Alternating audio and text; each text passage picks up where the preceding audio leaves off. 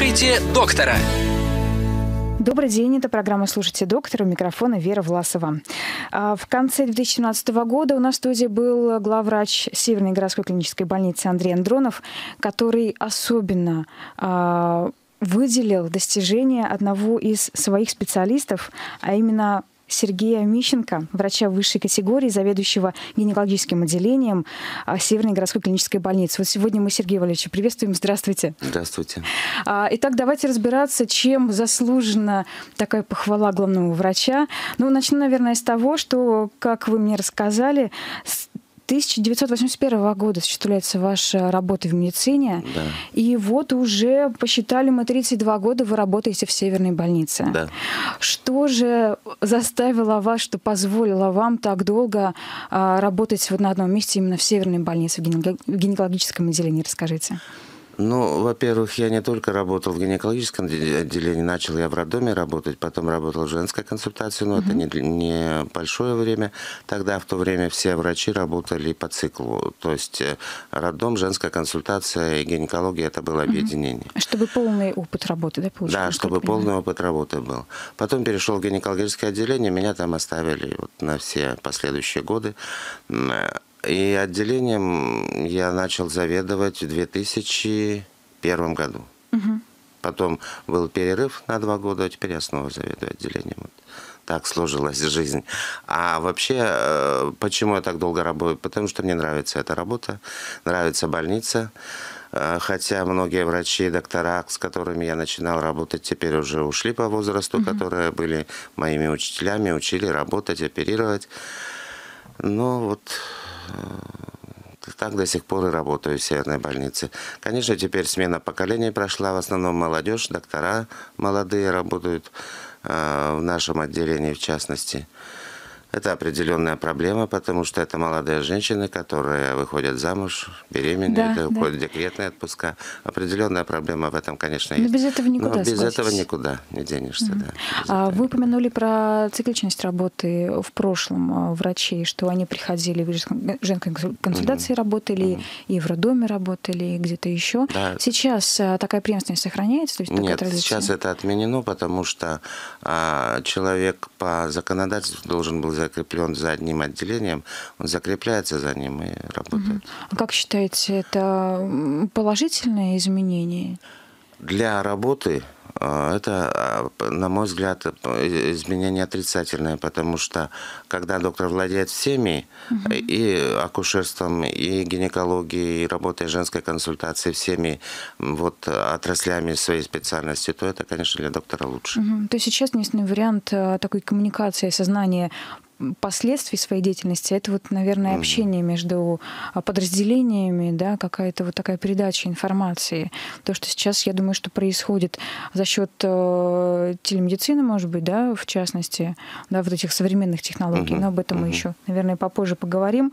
А за годы вашей службы в Северной больнице наверняка произошли огромные изменения как по составу да, врачей, специалистов, экспертов, медсестер, так и во внешнем облике больницы. Андрей Андронов, э, Андрей Витальевич не раз об этом уже говорил. Да, в гинекологическом отделении тоже я понимаю, что случился ремонт не так давно. Да. Как изменились условия вашего труда? Да, за последние годы мы переезжали с одного, ну, раза три, наверное, переезжали угу. из одного отделения отделение в другое. И каждый раз это было новое отремонтированное отделение. Как хорошо вам везло. Да. И, в общем-то, вот в каком отделении мы работаем сейчас, оно просторное, светлое, э, удобное. Э, помещение для работы э, есть самое разное и, в принципе, очень неплохо. Угу. И вы там уже, наверное, надолго сейчас обосновались? Да, Угу. Теперь надолго. Это очень хорошо. А расскажите, пожалуйста, в какие условия попадают э, женщины, девушки, когда попадают к вам в отделение? У нас э, палаты есть пятиместные, есть двухместные и трехместные. Причем двухместных и трехместных палат немало. Угу. Э, многие попадают именно в эти палаты. Есть одноместные палаты угу. с удобствами. Это то, что называется дополнительную плату? Насколько я понимаю. Ну, пока там еще не совсем закончен ремонт, угу. потому что э, ремонт по больнице идет очень большой, угу. огромный ремонт идет. Да, да. И поэтому эти вот палаты никак не можем доремонтировать. А так за отдельную плату это будет угу. у нас э, Плата небольшая будет, но отдельная а, палата с телевизором, с туалетом, с душем. Угу, очень удобно. Да. Ну, наверное, не так... А, все-таки общество, наверное, и тянет, да, когда в больницах женщины находятся, чтобы как-то поделиться, пообщаться. И в, один, в одиночных палатах, наверное, они будут лишены такой возможности. Они будут лишены такой возможности, но желающие есть. И желающих безусловно. немало. Да, и это хорошо. Немало. А какими принципами сейчас руководствуется гинекологическое отделение, вы в частности, и ваши подчиненные? Как, какое это отношение к пациенткам? Ну, прежде всего, отношение, э, во-первых, врач должен владеть всеми э, своей, владеть своей специальностью в достаточно хорошем объеме. Это самое главное. Ну и, конечно, это вежливость, это э, хорошее такое человеческое отношение к пациентам, которое, я думаю, у нас в отделении есть. Конечно, бывают э, проблемы с пациентами, с пациентками, но в основном это все заканчивается э, неплохо. Угу. Вы упомянули о том, что сейчас большинство ваших сотрудников это молодые девушки и женщины. Угу. А как вам, как заведующему отделению, удается привить им, э, скажем так, любовь, хорошее отношение к пациенткам? Или это, может быть, уже в университете им все дается? Чему вы их доучиваете?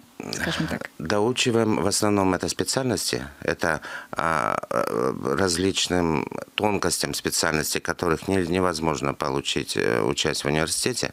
Без практики? Да, без практики нельзя получить.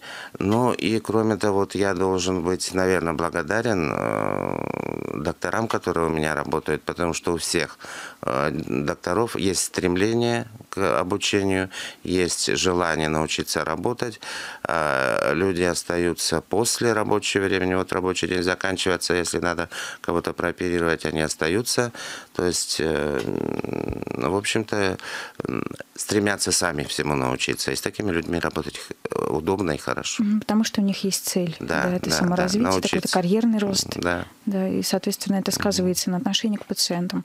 Меня почему-то больше всего волнует, потому что, а, на мой взгляд, когда вот я просматривала интернет перед нашей с вами беседой, конечно, то, что касается гинекологии, это больше всего вопросов вызывает. Потому что это настолько, как мне кажется, такое личное отношение женщины. Это все-таки угу. это здоровье и их, и их детей будущих. Поэтому здесь нужно, конечно, быть предельно деликатным, предельно осторожным, предельно внимательным к своим пациенткам. Поэтому честь вам и хвала за то, что вам удается достигать это в большинстве случаев. Угу. А расскажите, пожалуйста, о работе женской консультации, которая является подведомственной вам, да, насколько я понимаю?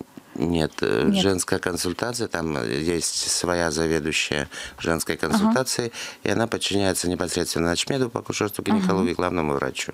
Ага. Но мы э, работаем очень давно. Заведующая нашей э, консультации Черенкова Татьяна Зюсина очень э, квалифицированный доктор, очень давно заведует гинекологической э, женской консультацией, и мы с ней в очень хороших отношениях. Замечательно.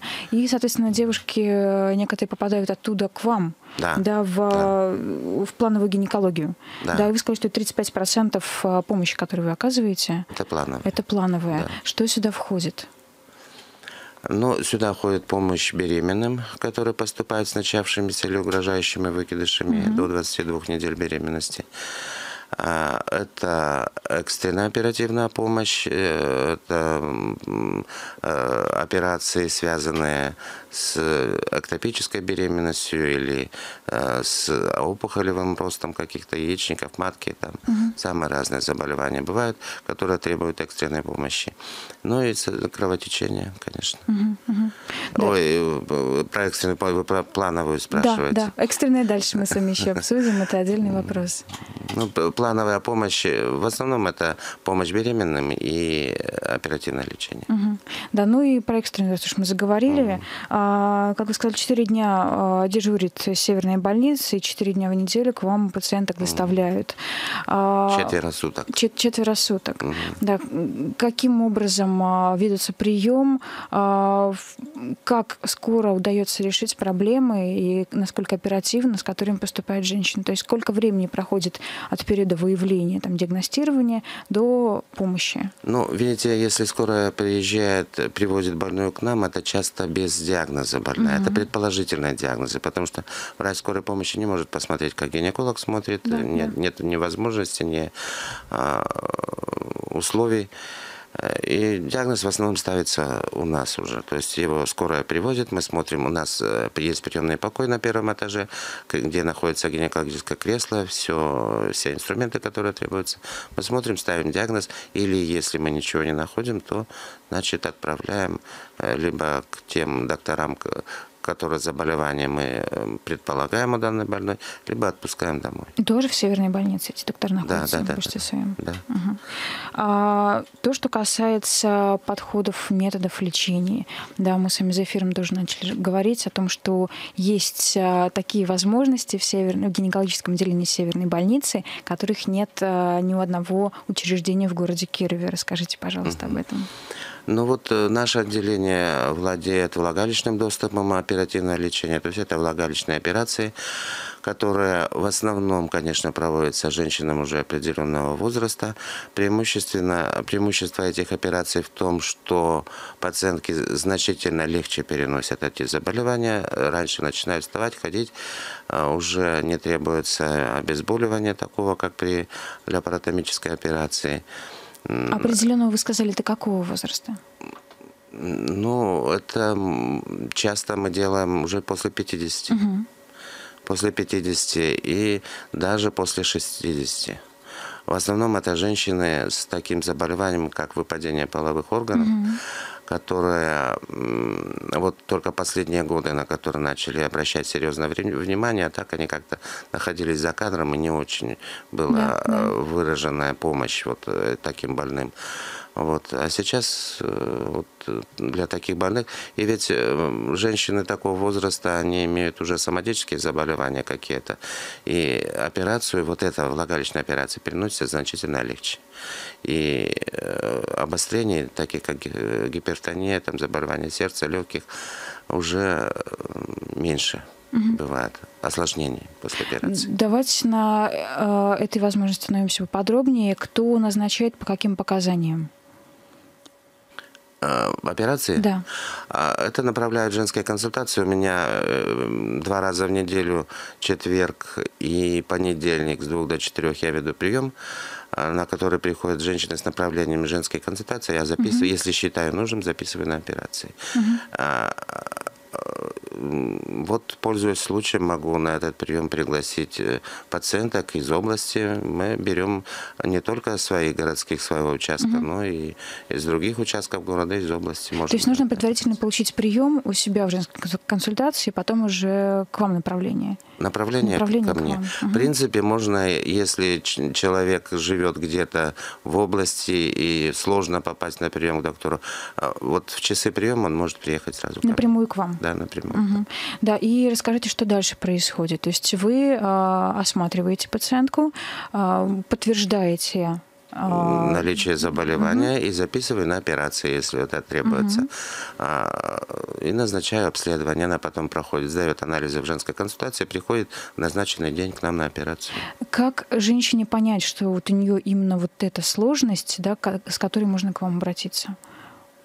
Ну, во-первых, э, конечно, нужно попасть на прием к гинекологу, угу. и там все объяснят, и, объяснят, и я думаю, что Давайте посоветуют... до приема гинеколога, потому что я знаю, что нередки те случаи, когда человек дотягивает до последнего буквально. Как заранее а, определить симптоматику, что вот именно эта проблема есть на самом деле, ее лучше сейчас устранить, пока она еще более-менее не, не развилась так сильно? Ну, если говорить о выпадении половых органов, то это, в общем-то, каждая женщина чувствует. Угу. Она чувствует, что половые органы выпадают.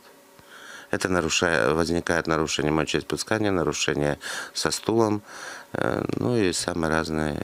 Могут быть кровяные выделения из-за появления язв, выпавших вот этих половых органов. Угу.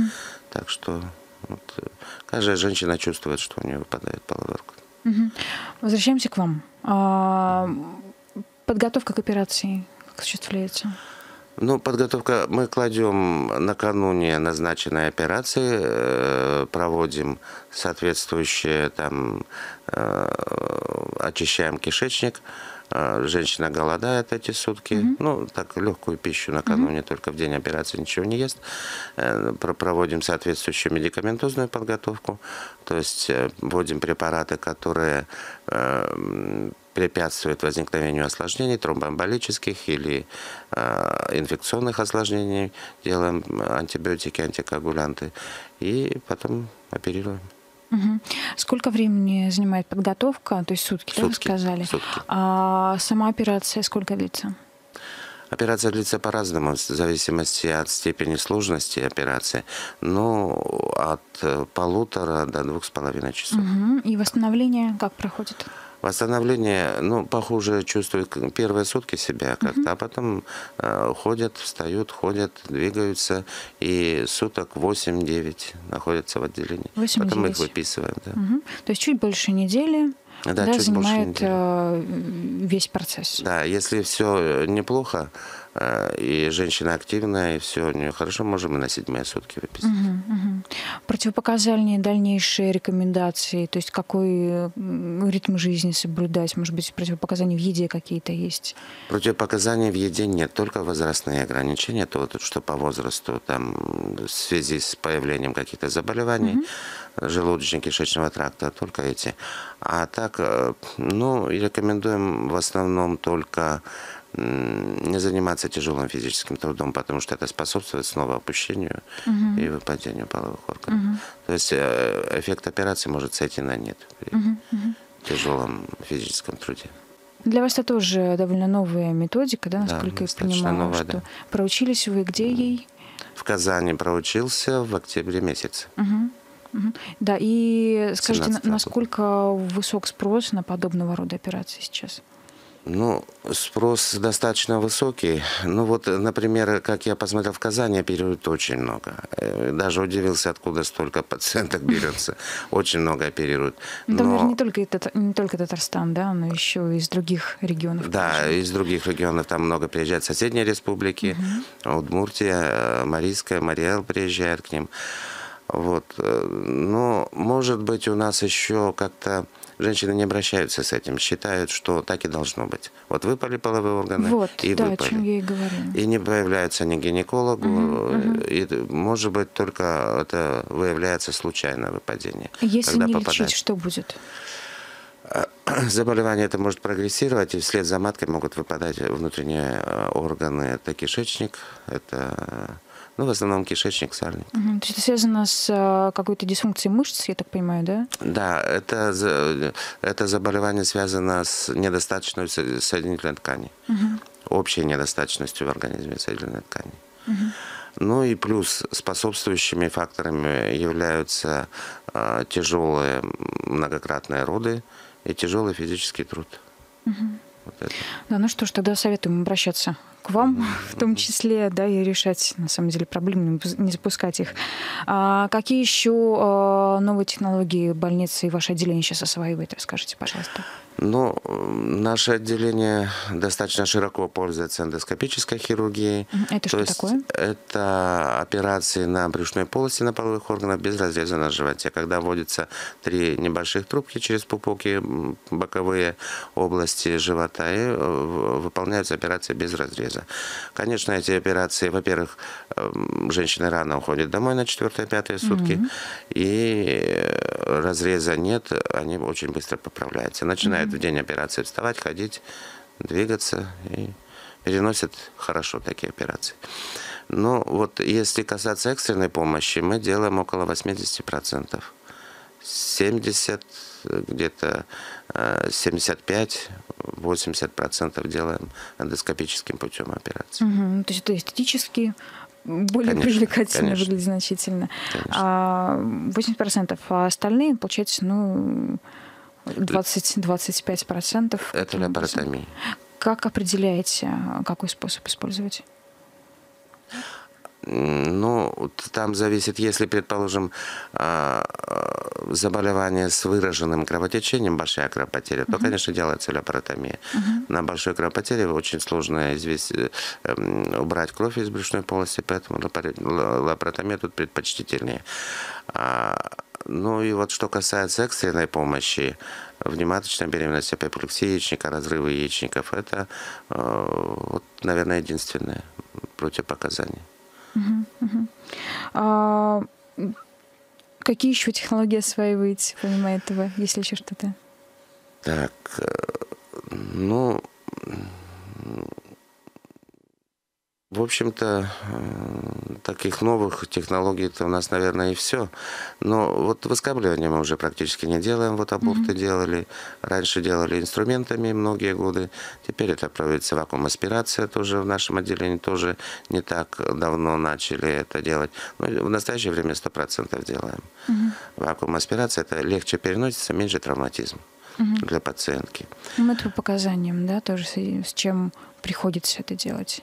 Нет, тут э, нет против, по- по- про противопоказаний тут нет. Э, Это э, методика проводится всем. Всем сто процентов.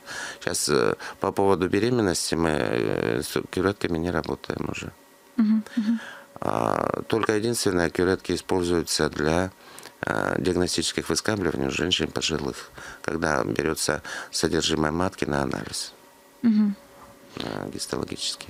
Про оборудование вот начали вы говорить. А, Насколько оно обновлено, насколько еще планируется его обновить, что, может быть, еще планируется закупить для, для отделения и для каких целей? Ну, видите, любое оборудование, оно периодически приходит в негодность. То есть мы работаем достаточно много, э, оборудование изнашивается и э, списывается. То есть обновлять надо постоянно. Вот. А эндоскопическое э, оборудование, ну, дорогое очень. И поэтому деньги нужны серьезные, большие. И не так это, конечно, часто проходит обновление аппаратуры, но главный врач старается. Мы Да, да, это так. Э, за этим тоже следим. Но вот в настоящее время работаем. А я так понимаю, что гордость ваша это все-таки эндоскопический аппарат, да, в первую очередь? Да, конечно. А, э, какие еще методы диагностики, аппараты вот применяете в работе, да, что положительно сказывается на результатах работы? Ну, то, что мы остальное делаем, это, в принципе, делают все э, гинекологические отделения в городе. Это рентген-диагностика, проходимость маточных труб, смотрим и состояние матки. А, Кроме того, ультразвуковая диагностика. У нас доктора нашего отделения многие проучились по ультразвуковой диагностике, могут сами делать.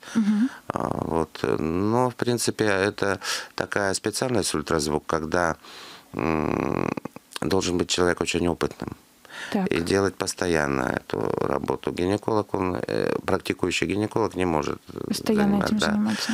Вот, поэтому, конечно, направляем, стараемся все-таки направлять к специалистам, которые только ультразвуком занимаются для постановки диагноза. Ну, это у нас, у нас же в больнице все в нашем корпусе проводится. Вот, э, ну, когда вот нет возможности, тогда делают наши доктора. Ну, практически все проучены. Слышала я тоже много отзывов по поводу ультразвуковой диагностики. Если это, скажем так, плановые при беременности диагностики, но вместе с тем мамочки же имеют возможность выбирать, где именно они будут проходить ультразвук, где именно они будут получать консультацию специалиста. Да. И здесь, конечно, а, очень жесткая конкуренция, надо сказать, потому что удовольствие не самое дешевое, особенно когда идет речь о каких-то 3D-диагностиках ультразвуковых. Вот как вы это прокомментируете? Ну, вообще, э, ультразвуковая диагностика, особенно беременным, она должна проводиться бесплатно. И по нашим э, приказам она должна проводиться бесплатно. Для этого организованы в женских консультациях э, проучены специалисты, которые скрининговые сроки беременности, которые вот э, для того, чтобы выяснить уродство плода своевременно, для того, чтобы какую-то патологию поставить, они это делают э, бесплатно и по записи по записи, угу. когда. И такой специалист, конечно, должен быть специально обучен. Да, да. Специально обучен. А, поэтому делают не все, конечно, в городе. Угу. А вот здесь конкуренция очень ярко выражена между государственными учреждениями, да, медицинскими и частными клиниками. Потому что, опять-таки, частные, видимо, работая на клиентов, на клиентопоток, предлагают такие вот услуги, как 3D, УЗИ, угу. запись на видео УЗИ. Угу. Вот как вы считаете, насколько это действительно важно с медицинской точки зрения, насколько это возможно, и не вредит ли это малышу? Видите, ну вообще считается, что ультразвуковая диагностика не вредит. Но, на мой взгляд, чем меньше пациентка за беременность сделает УЗИ, тем лучше угу. для плода. Потому что это все равно волны, а, причем достаточно интенсивные волны. Чем выше интенсивность воздействия ультразвука, тем лучше результат бывает. Поэтому вот эти вот новые аппараты, тем более 3D, конечно, лучевая нагрузка тут значительно выше. А, пациентка должна сама выбирать. В принципе, вот для постановки диагноза 3D не всегда нужно. Я же даже сказал, что это часто делается просто по желанию женщины yeah. для того, чтобы оставить красивую картинку. Вот. А так э, лучше избегать лишнего лучевого воздействия. Mm-hmm. Если диагноз понятен без этого, то лучше не делать. Поняла вас. Да, не могу не согласиться. Да, ну и давайте подведем итог э, вышесказанному. А, то, что касается будущего развития гинекологии, в принципе, и в частности а, вашего отделения в Север... Северной городской клинической больнице, угу. на что вы сейчас намерены делать а, упор, что развивать и в чем будущее вашего отделения? Угу. Ну вот э, я думаю, что отделение будет развиваться так, как э, должно развиваться. Э, гинекология вообще в нашей стране по рекомендациям Министерства здравоохранения, это я имею в виду Москву, угу. Какие рекомендации? Меньше беременных класть в отделение, потому что доказано, что а, беременные часто очень зря лежат в гинекологическом отделении, сохраняют беременность, когда никакой угрозы нет. Угу. Беременные будут класться только с кровяными выделениями. Так, подождите, а как же, например, тонус матки? А тонус матки, он не играет роли большой. Это а, часто просто если по передней или по задней стенке, это временное нарушение, которое, даже их нельзя назвать нарушением, это нормальное состояние беременности. Mm-hmm. Периодически, когда матка приходит в тонус. Вот, э, поэтому беременные часто лежат зря ну, почему отделении. тогда женщине просто не отдохнуть от повседневной Ну, вот это другое дело. Вот, это другое Дома дело. это не всегда получается. В принципе, никому не отказываем. Никому не отказываем. Если женщина желает лечь, обязательно положим. Но... То есть даете такую возможность, но не рекомендуете, да, Да. Вот. Э, отделение, места в отделении есть, поэтому если женщина желает, обязательно положим. Даже mm-hmm. вопроса никакого нет. Но просто я считаю, и другие специалисты более э, высокого уровня считают, что это бесполезно. Вот, вот в этом плане э, должна меняться работа гинекологии. Кроме того, работа гинекологии должна меняться в оперативном плане. Долж, должно больше использоваться лапароскопических методов, то есть эндоскопии, и оперативное лечение вот женщин пожилых, э, что называется в настоящее время дизайн промежности, есть угу, такое угу. выражение в гинекологии. То есть вот э, э, эти женщины у нас остались как-то без а, помощи, и вот они должны занять эти койки, которые могут освободиться от беременных, которые лежат. Главное, чтобы они на себя обращали внимание да, вовремя, они да, запускали, да, да, о чем да. мы уже говорили. Ну что, изменения положительные. Да, спасибо большое, что пришли. У нас в гостях сегодня был а, Сергей Валерьевич Мищенко. А, Сергей Валерьевич, ждем вас еще с новыми рассказами и развитием а, отделения вашего. Да, спасибо, что пришли еще раз. Спасибо вам. Будьте здоровы. Спасибо вам. Слушайте доктора. Имеется противопоказание, проконсультируйтесь у специалиста.